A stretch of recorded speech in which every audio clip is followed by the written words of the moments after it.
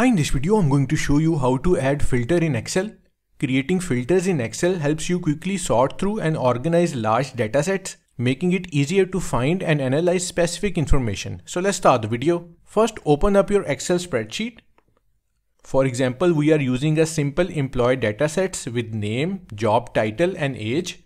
To apply a filter in Excel, click and drag to select the range of cells that contains your data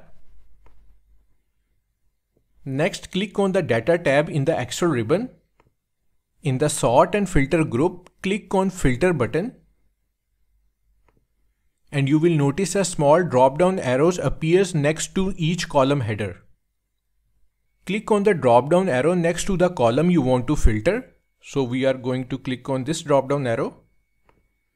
Here you will see various options to sort and filter your data. For instance, let's say job title column to only show accountants.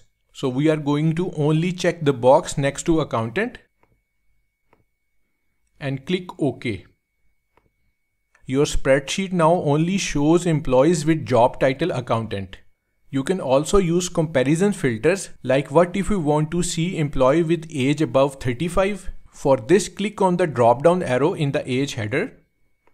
Hover your cursor over number filters and select greater than. You can use other filters as well. Age is greater than, enter 35 and click OK. This will only show employees who's older than 35 years. So that's how to create filters in Excel. Thanks for watching.